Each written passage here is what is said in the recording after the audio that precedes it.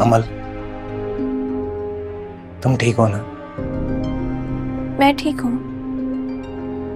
मुझे क्या होना है? मुझे लगता है कि इतने जख्म खाने के बाद मुझे अब दर्द का एहसास ही नहीं होता। शायद ज़िंदगी की ठोकरें खाने की आदि हो गई हूँ मैं। अमल तुम ऐसी बातें मत कर।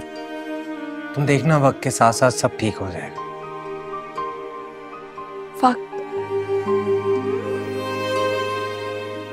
वक्त से बड़ा जालिम कोई नहीं होता। इतना दर्द, इतने दुख देता है कि आपसे आपकी मासूमियत ही छीन लेता है। एनीवेज मैं चलती हूँ, तुम भी रेस्ट कर लो। गुड नाइट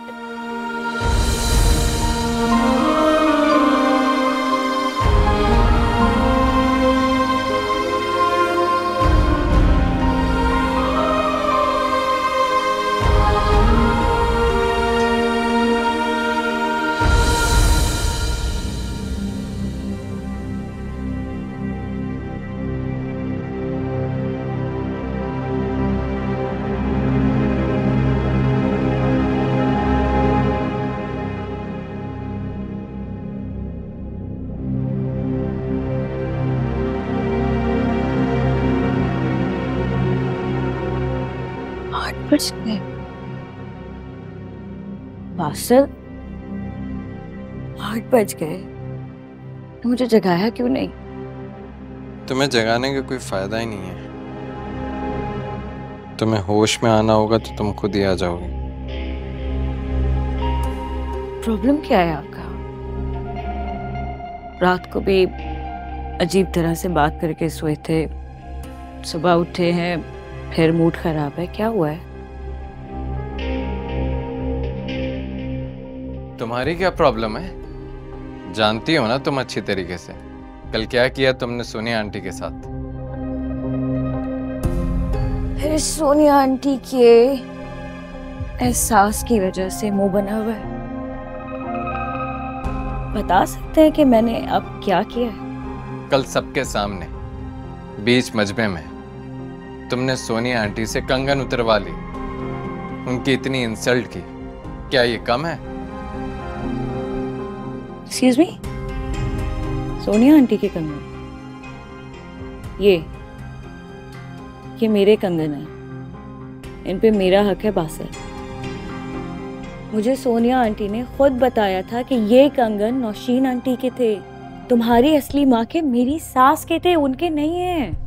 इनफ वो कंगन जिसके भी थे।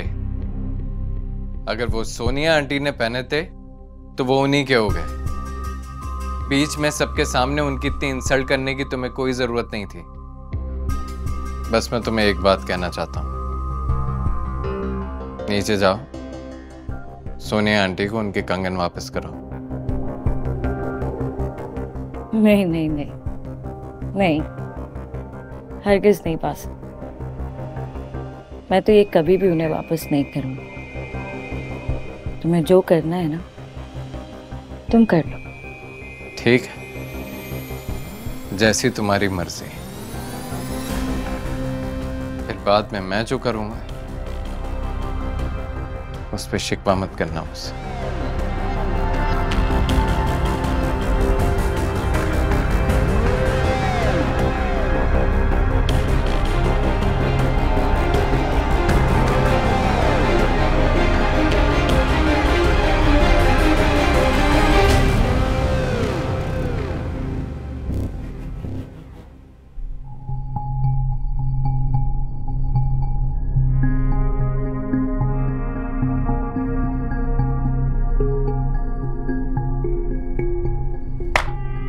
मैडम। तुम?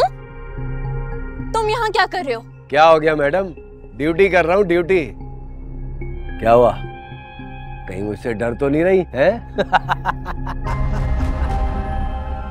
मैंने तुम जैसे जानवरों से डरना छोड़ दिया अब जाओ यहाँ से। दिलशाद मैडम ने मुझे जहीन साहब की सिक्योरिटी पे लगाया है। अब जहाँ जहाँ जहीन साहब होंगे उनका गार्ड उनके साथ साथ होगा। क्या समझी? मैं सब समझ रही हूँ। लेकिन तुम भी एक बात याद रखना। अगर तुमने यहाँ पर कुछ भी करने की कोशिश की ना तो मेरे पास तुम्हारे खिलाफ सबूत तैयार है।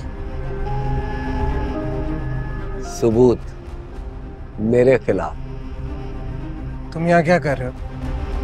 और क्या कह रहे थे अमल से? कुछ नहीं मैं तो अपनी ड्यूटी कर रहा हूँ जैसे तुम यहाँ अपनी ड्यूटी कर रहे हो। समझ आ गई?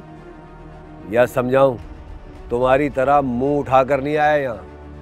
तुझे तो मैं समझाता हूँ। रेहान जाने दो इसे। वैसे भी इसके होने ना होने से कोई फ़र्क नहीं पड़ता। ये बस मेरी कहानी का एक मामूली सा किरदार है।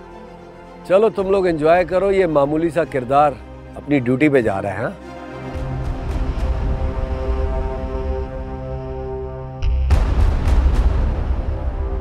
अमल डोंट वरी मेरी अब इस पर नज़र रहेगी। ये अब तुम्हें कोई नुकसान नहीं पहुँचा पाएगा।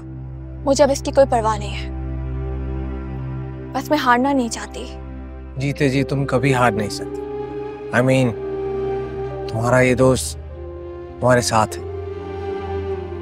मैं जानती हूँ मेरे दोस्त। अच्छा मैं तुमसे कुछ कहना चाहती हूँ। क्या तुम प्लीज़ मेरी बात मानोगे? हाँ बोलो रेहान तुम प्लीज़ ये जॉब छोड़ने का फैसला वापस ले लो। मुझे तुम्हारी ज़रूरत है। मुझे एक दोस्त की ज़रूरत है। प्लीज़ रेहान फ़िलहाल तो मैं यही हूँ। कंपनी का ऑडिट चल रहा है और डोंट वरी मैं यही हूँ। तुम्हारी हर मुश्किल में तुम्हारे साथ रहूँगा। मैं मुश्किल वक्त में भागने वालों में से नहीं हूँ। और ये बात तो तुम अच्छी तरह जानती हो। थैंक यू अच्छा मैं दिलशाद मैडम से मिल के आता हूँ। श्योर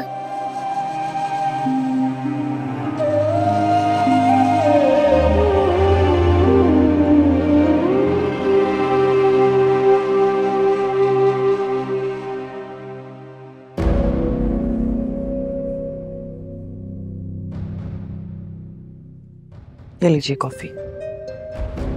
मकबूल मकबूल कहा मर गए हो? मैंने तुम्हें कहा था कॉफ़ी लाने के लिए। मकबूल बाहर गया हुआ है बाज़ार कुछ लेने के लिए इसलिए मैं लेकर आ गई कॉफ़ी। हाउ डेयर यू वैसे मानना पड़ेगा तुम्हारी ज़रूरत को। इतना बड़ा ब्लंडर करके भी तुम मेरे सामने खड़ी हो। शर्म नहीं आती तुम्हें? अगर रिश्तों का एहसास करना ब्लंडर है तो मुझे अफसोस है आपकी सोच पर। सोनिया मैं तुम्हें ये क्या कर रहे हैं आप? तुम्हारा लिहाज और एहतराम कहाँ गया तुम सोनिया और मेरे बीच में कैसे आए? अगर आप अदब तहजीब लिहाज की बात कर रहे हैं तो आपने हाथ उठाने की कोशिश क्यों की? बासिल रहने दो बेटा। बात को मजीद मत बढ़ाओ। अच्छा सोनिया बेगम पहले आग लगाती हो और फिर खुद ही बुझाती हो। मैंने कोई आग नहीं लगाई कासिम साहब। तो फिर क्यों दी मेरे दुश्मन की बेटी को खानदान की निशानी? तुम्हारी ज़रूरत कैसे हुई उस लड़की को कंगन देने की? मुझसे पूछे बगैर इजाज़त के बगैर मेरे। खानदानी कंगन दुश्मन की बेटी को देने से इतनी तकलीफ़ हो रही है? और मेरी जीती जागती बेटी दुश्मनों के घर पे दे दी? जानते भी है किस तकलीफ़ और कर्ब से गुजर रही हूँ मैं?